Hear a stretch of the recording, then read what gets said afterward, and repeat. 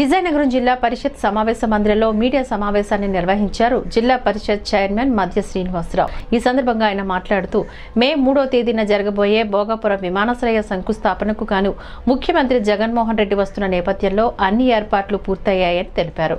గడప గడప కార్యక్రమానికి ప్రజల నుంచి విశేష స్పందన వస్తుందని అన్నారు. రాబోయే సార్వత్రిక ఎన్నికల్లో ప్రజలు వైఎస్ఆర్సీపీకే పట్టం కడతారని ఆశాభావాన్ని వ్యక్తం చేశారు. ప్రశాంతంగా అమ్మో ఫోన్ చేస్తారా అరగంట మీరు వచ్చారంటే? సరే నీకు అర్థం కాలేదు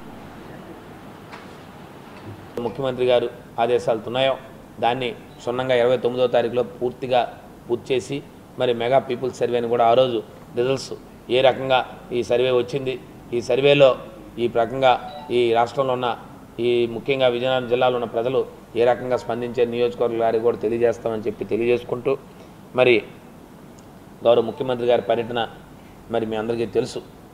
ఏదైతే అంతర్జాతీయ విమానాశ్రయం మరి భోగాపురం ఇంటర్నేషనల్ ఎయిర్పోర్ట్ని శంకుస్థాపనకి గౌరవ ముఖ్యమంత్రి గారు మూడో తారీఖు ఇచ్చేస్తున్నారు మరి ఏదైతే ఉత్తరాంధ్ర తలమానికమైనటువంటి ఈ ప్రాంత ప్రజల అవసరాల కోసం ఈ ప్రాంత ముఖ్యంగా యువత ఉపాధి కోసం ఉపాధి కల్పన కోసం యువత ఉద్యోగాల కోసం మరి ఖచ్చితంగా మరి భోగాపురం విమానాశ్రయం సుమారు నాలుగు వేల ఐదు వందల కోట్ల రూపాయల పెట్టుబడితో ఏదైతే జిఎంఆర్ సంస్థ మరి ఖచ్చితంగా ఆ పనులు రేపు మూడో తారీఖు నుంచి ప్రారంభించబోతుంది. మరి గౌరవ ముఖ్యమంత్రి గారు దానికి శంకుస్థాపన చేస్తారు.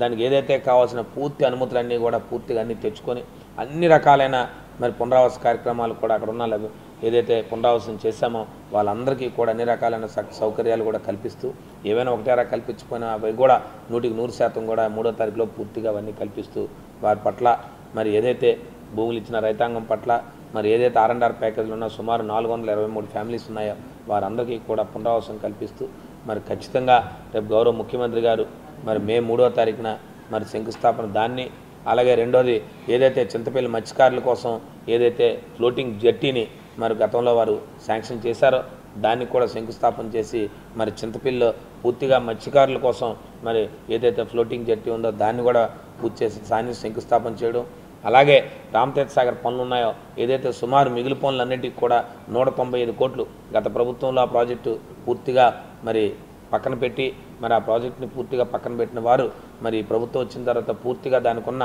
ఏదైతే న్యాయ న్యాయపరమైన చిక్కులు ఉన్నాయో అవన్నీ కూడా తొలగించుకొని పూర్తిగా అన్నీ కూడా క్లియర్ చేసుకొని అది కూడా మరి ఆ రోజు కోర్టులో కంప్లీట్గా స్టే ఉంటే ఆ ప్రాజెక్టు మీద అవన్నీ కూడా క్లియర్ చేసుకొని సుమారు నూట తొంభై ఐదు కోట్ల రూపాయలతో మరి ఇప్పటికే మరి శాంక్షన్ చేయడం మరి ఏజెన్సీని కూడా ఫిక్స్ చేయడం మరి దానికి సంబంధించి కూడా మరి శంకుస్థాపన చేసే కార్యక్రమాన్ని కూడా మరి పెట్టాం.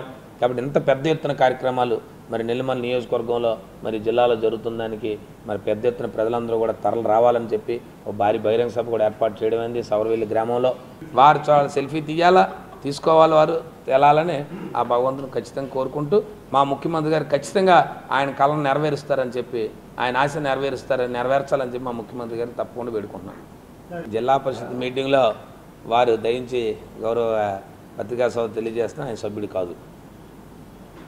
ఆయన డిఆర్సీ చైర్మన్గా మాత్రమే ఆయన చైర్మన్ వ్యవహరిస్తారు. జిల్లా అభివృద్ధి మండల సమావేశానికి మాత్రమే వారు చైర్మన్గా ఇన్ఛార్జ్ మంత్రికి వ్యవహరిస్తారు. జిల్లా పరిషత్ సమావేశంలో వారు సభ్యులు కాదు.